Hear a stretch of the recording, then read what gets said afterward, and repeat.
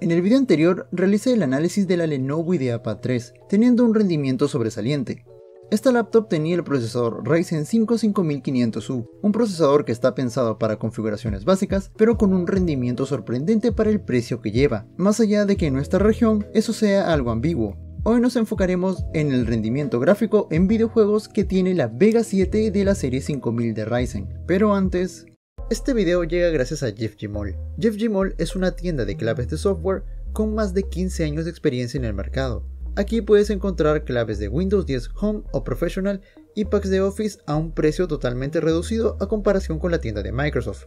El único detalle con las claves de Windows es que son claves OEM, por lo que se adhieren a la placa madre de tu ordenador, pero pasar de 250 dólares a 16 dólares es una oferta que no puedes dejar pasar. Se puede pagar con PayPal o con tarjetas de Visa o Mastercard, y lo mejor de todo es que el código te viene al instante de haber completado la compra. Más información en la descripción del video y un código del 20% de descuento. Muchas gracias a Jeep por patrocinar este espacio. Como siempre, dividiremos los juegos en tres categorías. Los juegos eSport, juegos AAA con requerimientos gráficos medianos y juegos AAA con altos requerimientos gráficos. Pero tengo que hacer una aclaración. El portátil venía con la configuración de 8 GB de RAM, de los cuales 2 iban para la integrada. Por lo tanto, el sistema llegaba a tener solo 6 GB para ejecutar todas las tareas. La RAM que agregué es de 2666 MHz, era lo que tenía a la mano en ese momento. Esto hará que la RAM que está soldada baje sus frecuencias para usarse en 2666, lo que significa que no desatará todo su potencial, ya que las frecuencias altas es importante para los procesadores AMD, en especial para las APUs. Pero igual esto nos podrá dar una idea de lo que puede ser capaz de hacer. Otra vez lo repito, solo hice esto porque es lo que tenía a la mano para realizar la prueba. Siempre aumenta la RAM con la misma frecuencia que usa de fábrica. ¿Ok? Vamos a ello. Con 6 GB de RAM no pude probar mucho, ya que con juegos como Red Dead Redemption 2, incluso Shadow of the Tomb Raider requiere mínimo de 8 GB de RAM, pero en los juegos eSport con 6 GB de RAM puede moverse con mucha facilidad. Primero comencemos con Defense of the Ancient 2 o Dota 2 para los amigos. Con la configuración más baja denominado el más rápido, logramos tener una media de 95 FPS con subidas hasta más de 100 FPS, pero en grandes teamfights podemos bajar a más o menos 70 FPS. Se mantiene totalmente fluido en cualquier escenario.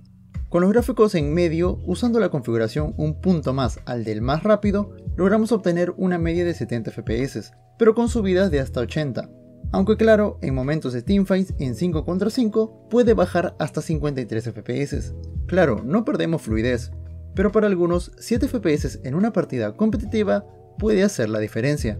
En ese sentido, la mejor opción para jugar es la configuración en bajo. En Counter-Strike Global Offensive esperaba un poco más, aunque tampoco tuvo un mal rendimiento, con los gráficos en alto, andábamos por los 50 FPS con subidas a 65 y bajadas hasta 44 FPS, pero hay un poco de inestabilidad, por lo que bajé las configuraciones a medio y aquí ya vamos por encima de los 60 en la mayoría de escenarios, pero hay muchos otros donde podemos bajar a 55, por lo que bajé las configuraciones abajo y pues subieron un poco más de FPS. Ahora tenemos una media de 72, pero aún así no nos liberamos de esos bajones que incluso nos dejan por debajo de 60. No esperaba 100 FPS, pero por lo menos no bajara menos de 60. Y de manera sorpresiva, con 6 GB de RAM, puedes jugar hasta Call of Duty Warzone. No es broma, puedes ver que incluso la RAM solo está cogiendo 5,5 GB, cuando en otras ocasiones hemos visto que puede coger hasta más de 10 GB de RAM. Obviamente esto es con todos los gráficos en bajo y con resolución a 720p. Obtenemos más de 30 FPS.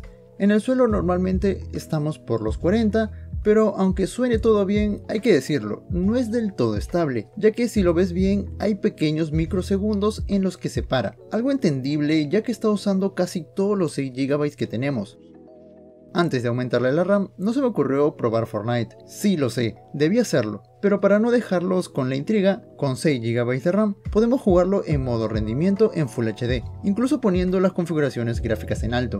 Tenemos 90 FPS de media, con DirectX 11 probablemente no difiera mucho de los resultados que obtuve con el aumento de la RAM, más adelante lo entenderán.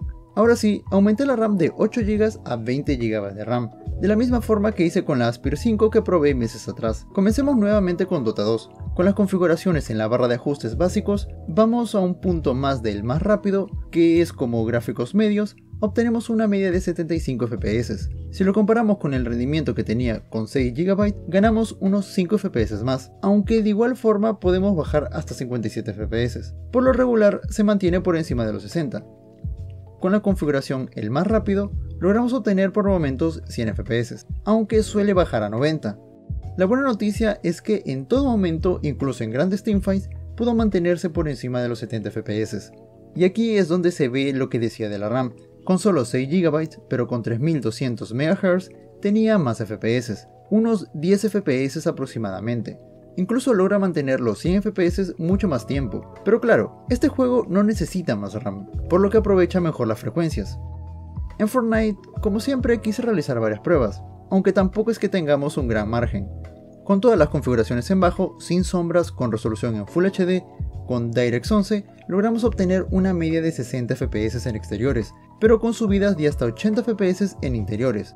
Como verán, en exteriores podemos bajar a 53 FPS, por lo que bajando el rescalado de resolución a 85%, los FPS podían subir hasta más de 90 FPS, pero esta vez bajábamos solo hasta 62 FPS.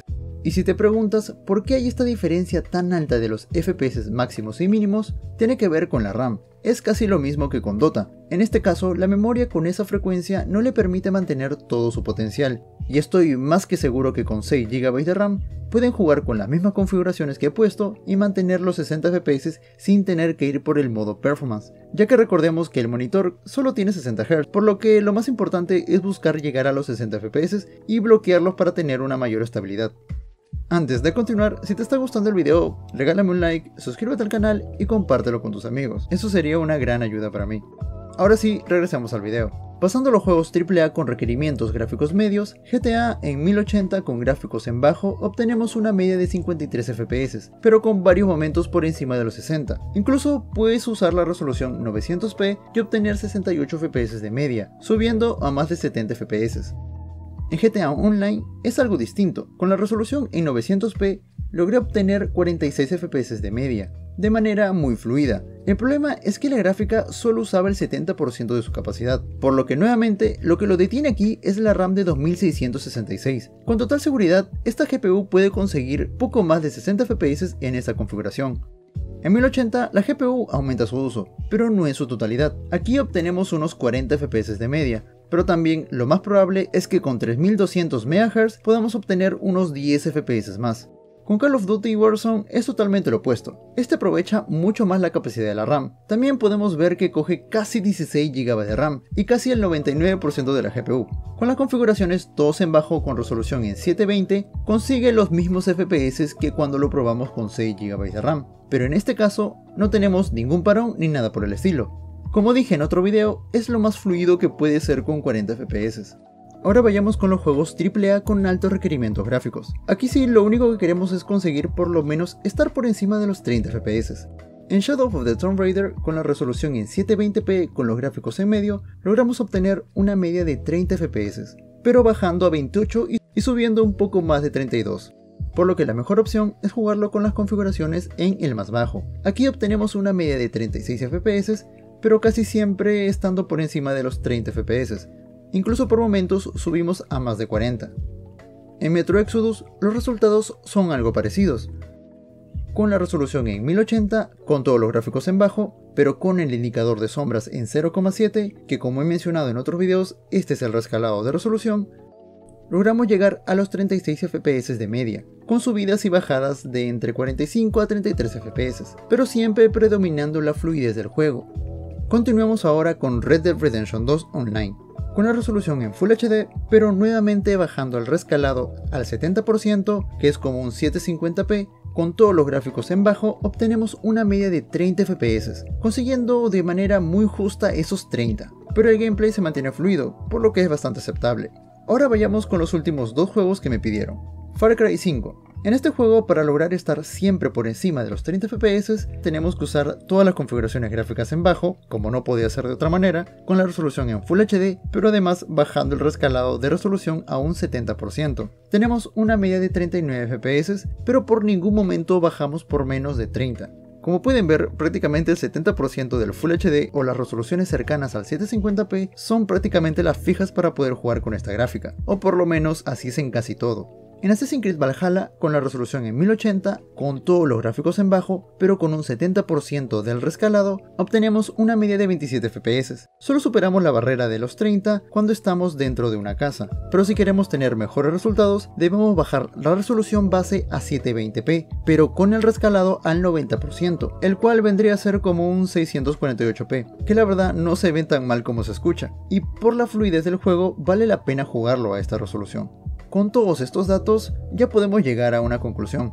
Es claro que la gráfica integrada de Ryzen 5500U, la Vega 7, te permitirá jugar a casi todos los juegos que existen hasta la fecha, aunque probablemente para los más nuevos comience a sufrir. Pero también hay que recordar que la RAM con las que realicé las pruebas eran a 2666, por lo que si usas 20 o 12 GB de RAM a 3200 MHz, probablemente veas unos 5 a 10 FPS más, o incluso tengas una mayor estabilidad. Como mostré, esto puede variar dependiendo del juego. Tampoco debemos olvidar de que hablamos de una gráfica integrada, que dependiendo de la laptop puedes encontrar a un precio muy económico, aunque esto puede variar dependiendo del país. Bueno, eso ha sido todo por el video de hoy. Muchas gracias por verlo, si te ha gustado ya sabes, dale like, suscríbete al canal si no lo estás, no se olviden de seguirme por mis redes sociales y compartir el video con sus amigos. Cuídense mucho y nos vemos en el próximo video.